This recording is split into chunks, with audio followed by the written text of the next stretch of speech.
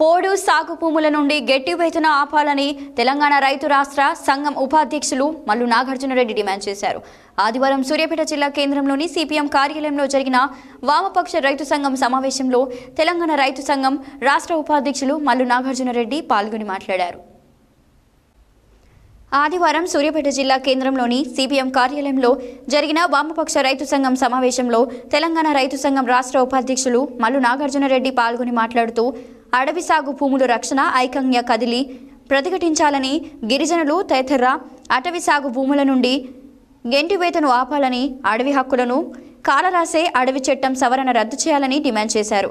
తెలంగాణ రాష్ట్ర రైతు సంఘం జిల్లా ప్రధాన కార్యదర్శి కొప్పోజు సూర్యనారాయణ మాట్లాడుతూ కేంద్ర రాష్ట్ర ప్రభుత్వాలు అడవి హక్కులపై క్రూరమైన దాడిని కొనసాగిస్తూనే ఉన్నాయని అడవి సాగు భూముల నుండి కెంటివేతను కొనసాగిస్తూనే ఉన్నాయని ధైర్యపట్టారు అఖిల భారత రైతు కూలీ సంఘం జిల్లా కార్యదర్శి డేవిడ్ కుమార్ మాట్లాడుతూ తెలంగాణలోని అడవి ప్రాంతాలలో ముఖ్యంగా గిరిజనులు గెంటివేతను కొనసాగిస్తూనే ఉంది. చివరికి అనేక చోట్ల హక్కుపత్రాలు ఉన్న భూములు కూడా హరితహారం పేరిట గెంటు వేస్తున్నారని ఆవేదన వ్యక్తం చేశారు. అనంతరం అఖిలపక్ష రైతు సంఘం ఆధ్వర్యంలో కరపత్రాన్ని ఆవిష్కరించారు.